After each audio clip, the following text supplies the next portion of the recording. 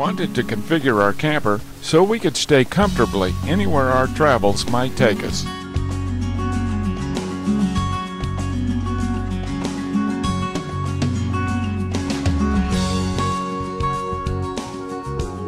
So we started our search. Some wouldn't fit the bill, and some were way outside of the budget of five to eight thousand dollars we had planned to spend. We settled on a 15-foot bunkhouse model with a convertible dinette that makes into a full-size bed. This floor plan gave us the most daytime living space, and at night, dinette converts into a full queen-size bed. It was clear the camper wasn't everything that we had wanted. We would have to start modifying it.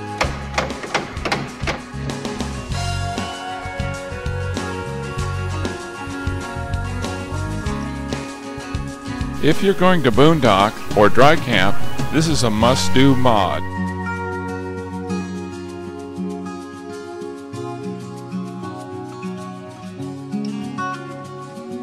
We used picture frames and pieces of plywood cut to picture size and covered with wood grain vinyl contact paper to make the cabinet doors.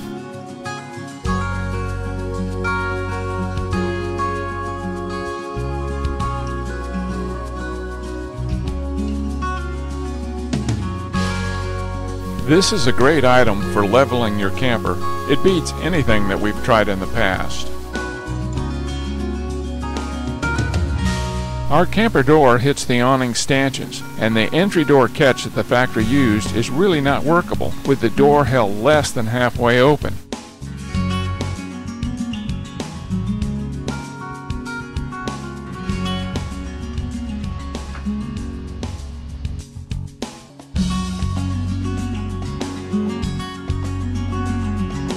When you come back to the camper in the dark of night and you can't see inside, a simple battery-operated stick-on puck light inside at the door will quickly light up the interior of the camper.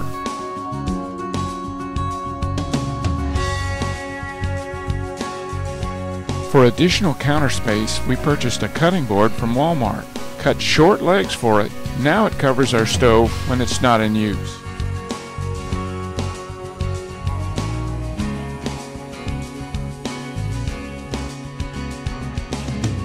The majority of times we camp at sites with electrical hookups. For us, the choice was obvious.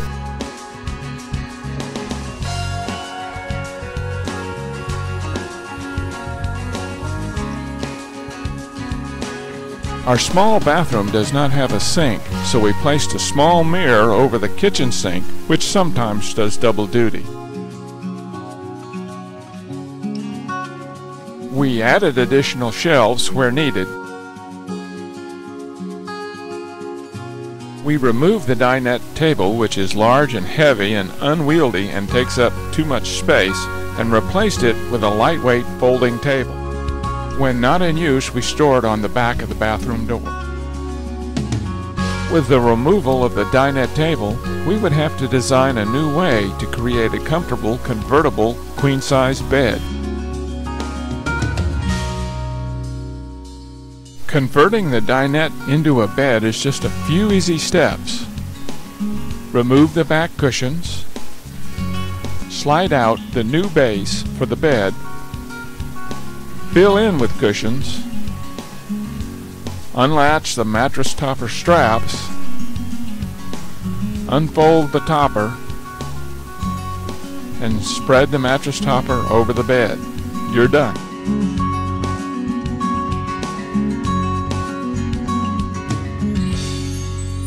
Since we are modifying the camper for the two of us and Barney, we would use the bottom bunk as a guest bed or daytime rest area, and the top bunk we would convert into a garage area for our camping toys.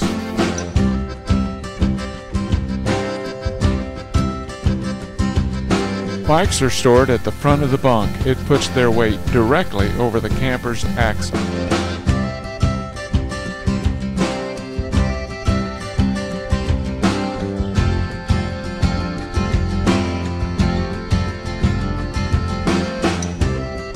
We added a Hott Rod electric conversion kit to our propane water heater. It now works on electricity, or gas, or both.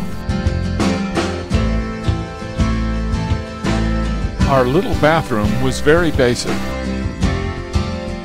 We replaced the standard mirror with a $24 medicine cabinet from Home Depot. We added a waterproofing backsplash to the shower. The factory shower didn't work well. We heard good things about the Oxygenics, so we replaced it.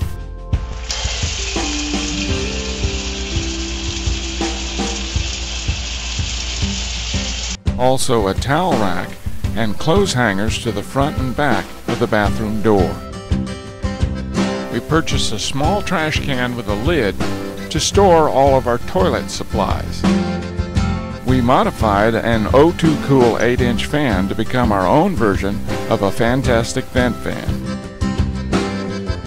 These neat 12-volt fans can be powered by a 120-volt adapter, D-cell batteries, or your camper's 12-volt power system and they're great for keeping cool while you're dry camping.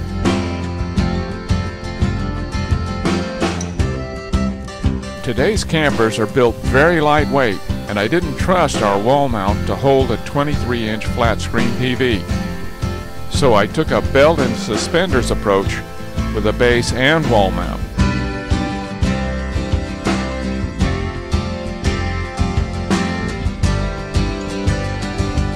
we upgraded our TV antenna, we now get better channel reception.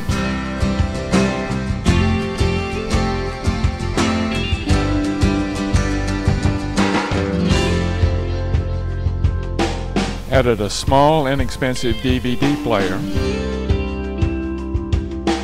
Also charging ports for our phones and computers, and a weather alert radio.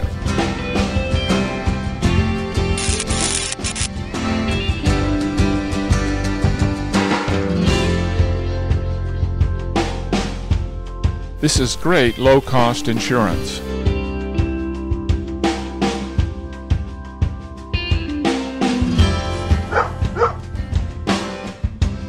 Our traveling companion Barney only needed a few mods.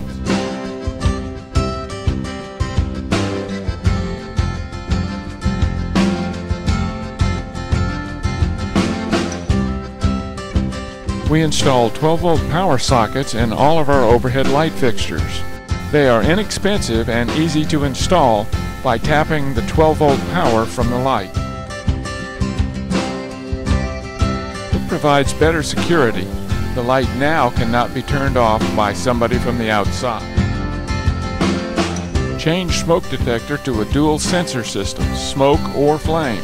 Campers are such small spaces you need as much advance warning as is possible.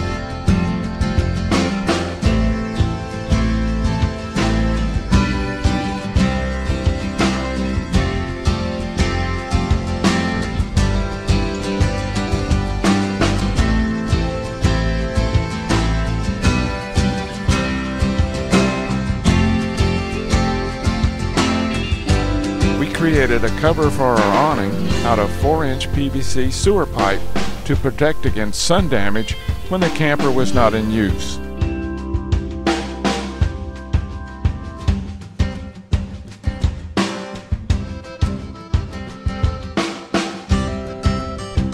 In our area, insect screens are always a good choice to protect our appliances.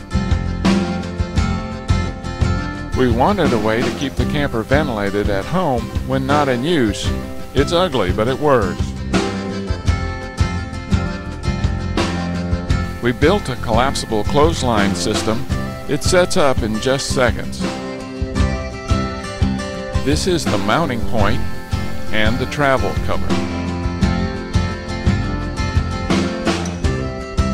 A power cord reel is a great way to store your freshwater hose.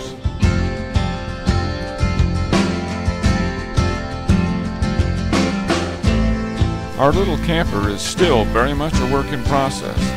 So that's it for now, but I hope some of our mods may be of interest.